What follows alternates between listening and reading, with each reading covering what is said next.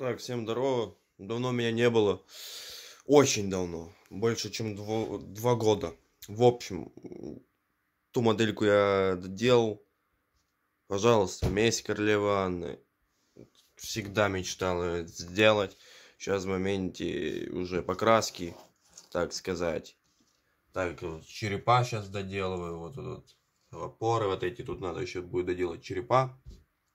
Вот, догрунтовать вот эту вот всю херню. И уже можно красить. Кстати, вот краска, там ее херище просто. Все на нее, на корпус, там туды на сюда. Вот. Хочу сделать обзор, потому что на ютубе толком нету. Сразу скажу, э, она была сделана из чертежа, из чертежа черная жемчужина. Там есть два чертежа.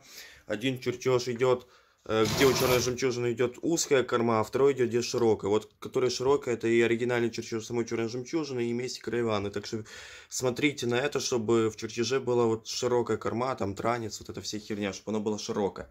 Вот. Было переделано с черной жемчужины в месть королевы. Делал я его долго в связи с тем, что просто ну, не было возможности.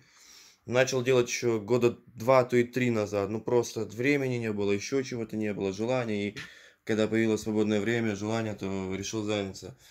Вот. Что тут? Своя фигура, вот эта вот вся херня. Вот так вот. То есть якоря сделал, тоже надо будет прогрунтовать, покрасить. Вроде все, то есть вот так, туда-сюда. Вот. Дальше покраска палубная, все вооружение, пушки на геля и эти, блядь, якоря, а, рангоут, паруса. Вот, и все. Ну, вот такая вот. Кстати, масштаб 1 к 72. Вон черная жемчужина. Вот так вот.